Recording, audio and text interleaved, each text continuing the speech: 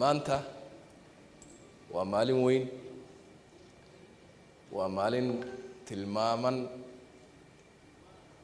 waa maalin adduunyadu ay u astaysatay inay noqoto maalinta lagu xuso aqoonsiga dadweynaha. Haddaan soomaali nahay innaga tilmaanta maanta inoo leedahay waa maalin qofka soomaaliyeed uu ka jawaabayo waa kuma. Kumaa tahay. Haddii aan jawaabo gaagaaban ama jus-i ah oo kookooban aan haynay kumaa tahay yaa tahay qolomaa tahay reerkee tahay oo qofku deedna uu sheegan jiray qabiilkiisa iyo jifadiisa maanta waxaynu taagannahay meeshii aynu wax intaa ka weyn oo dhammaanteen aynu ka soo wada jeedno aan sheegan lahayn oo ah anigu waxaan ahay soomaali.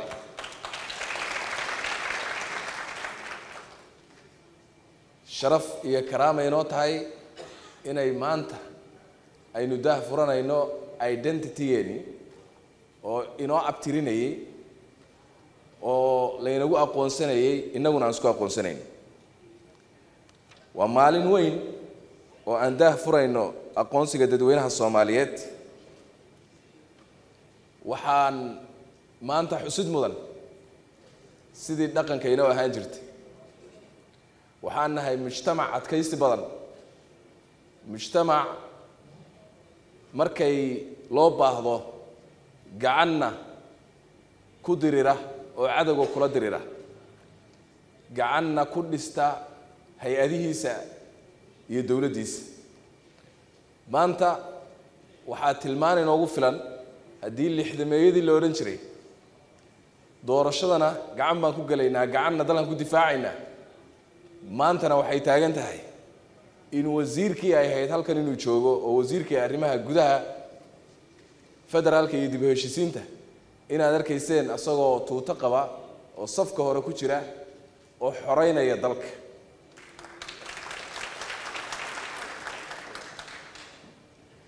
waxaan salka u dhigaynaa maanta nidaam aqoonsi oo lagu kalsoon yahay oo loo dhan yahay.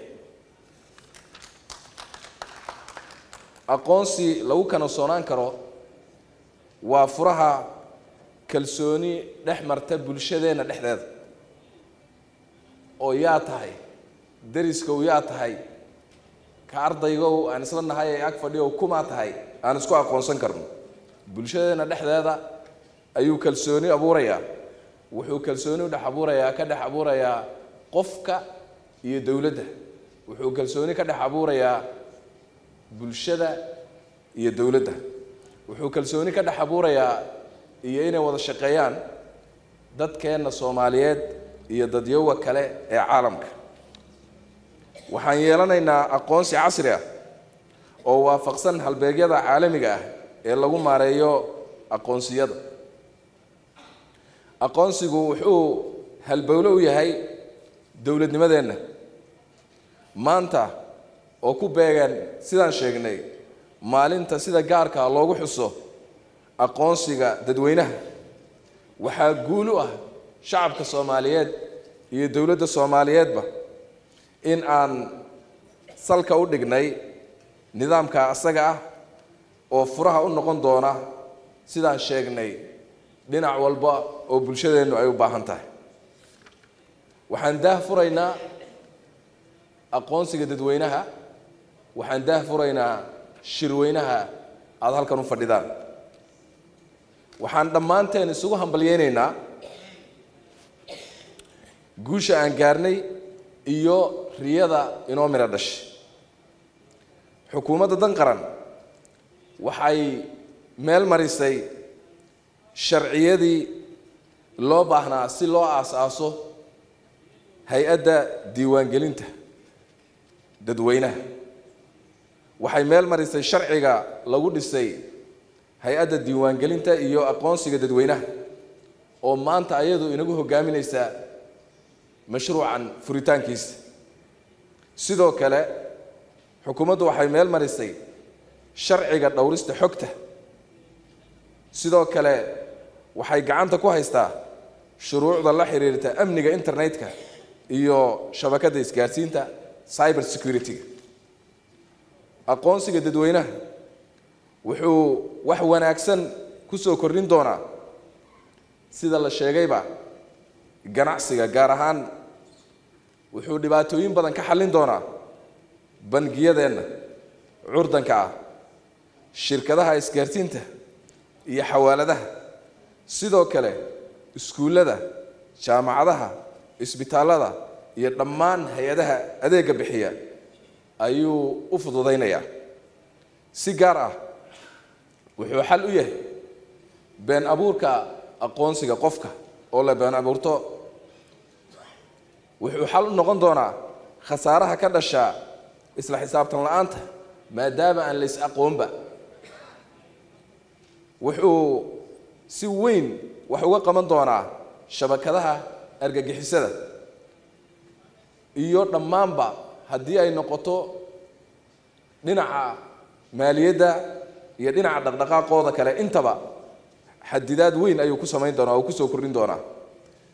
Wuxuu kor u qaadi doonaa ka qayb qaadashada dhaqaalaha ganacsiga iyo maaliyadeed ee dadweynaheenna ay xaqa u leeyihiin waa wixii inclusion financial inclusion ah wuxuu fududayn doonaa tayeyn doonaa adeega muwaadiniinta loo qabanayo. Wuu isku wuxuu isku xiri doonaa dadkeenna saan sheegay iyo dadyawa kale caalamka. Guushan oo aan maanta gaarnay waxaa kaalin weyn ka geystay sida la sheegay. Dowladda aan walaalaha nahay ee bakistan waana u mahad celinaynaa si gaara waxaa runtii ayadana loogu mahad celinayaa hay'adda isla dalkaas walaalaha nahay ee nadra oo hirgelisay nidaamkan tababartay hay'addeenna nira sidoo kale waxaan u mahad celinayaa bangiga adduunka oo ka geystay taakulayn farsamo oo socotay muddo dheer socotay maantana midho dhashay. Waxaa runtii mahad mudan inaan xusno maanta laga bilaabo. Waxaynu noqon doonaa una tallaabsan doonaa ku tallaabsan doonaa inay dadkeennu helaan xaq aasaasi ah oo ah xuquuqda dastuuriga ay leeyihiin oo ah inay helaan idgooda inay helaan national idgooda inay helaan.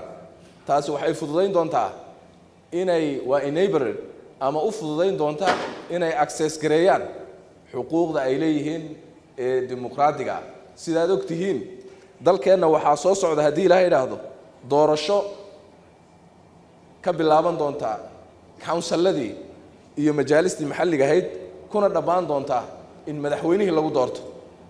Intaas ka hor waxaynu u baahan nahay dadkeennu in registration loo sameeyo oo aqoonsigooda ay haystaan si dadkeenna loo tiriyo si ay u hirgasho nidaamka dimuqraadiyadeed ee aan ku tallaabsannay horeyna ugu dhaqaaqnay. Waxaan runtii iyadana u hambalyeynayaa wasaaradda arrimaha gudaha federaalka iyo dib heshiisiinta oo ay u rumowday riyadeedii ahayd inay hirgeliso aqoonsiga dadweynaha ee oo midaysan heshiisna lagu yahay.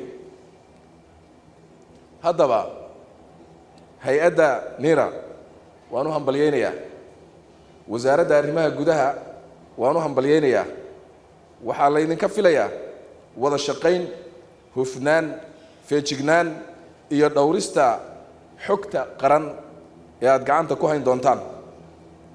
Waxaan faraynaa howlwadeennada dhammaan hay'adaha dowladda inay dhowraan amniga xogta dadweynaha iyo badqabkeeda.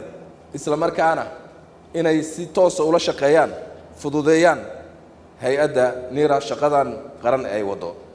Aqoonsiga aqoonsigani waa adeeg waa adeeg bulsho oo loogu talagalay horumarka dhaqan dhaqaale ee dadweynaheenna.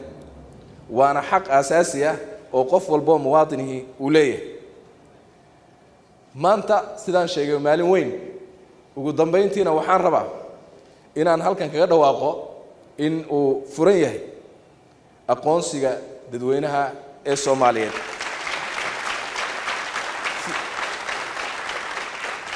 Sidoo kale waxaan rabaa isagana inaan idiin furo shirweynaha koowaad ee ay hay'addu soo qaban qaabisay. Aad iyo aad baad u mahadsan tihiin. Asalaamu calaykum waraxmat ullaahi wabarakaatu. Bishaaro bishaaro innagoo ka jawaabayna baahida macaamiisheenna waxaan ugu bishaaraynaynaa in i b s mobile banking app lagu soo kordhiyay adeega cusub. Adeegyada cusub ee soo kordhinay waxaa ka mid ah local banki transfer.